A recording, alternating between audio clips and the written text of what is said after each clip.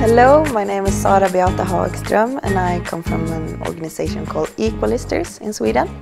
Hello, my name is Sanna Beer and I'm from the Swedish organization Equalisters. What is Equalisters? Equalisters is a feministic organization working with uh, correcting imbalances in representation in uh, media, culture, uh, expert uh, contexts uh, and everything in between.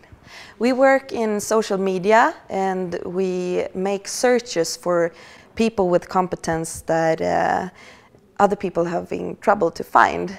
Like, uh, for instance, uh, people who can talk about uh, terrorism that aren't men, or uh, people who can talk about equality issues that aren't female. What kind of list have you made so far? Since we started four and a half years ago, we have made more than 800 different searches and we found 35,000 different names, different persons who have competence within different areas. And it's been everything from musicians within different kind of music to politicians and people who are experts on hunting, for example. So it's very, very broad. Do you think that you have made an impact? Yes. I definitely do. Since we have found so many people that other people claim don't exist, we have definitely done an impact. What are your future plans?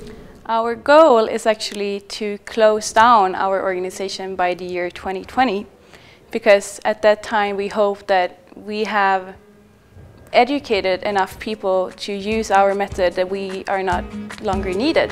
So that is our future goal.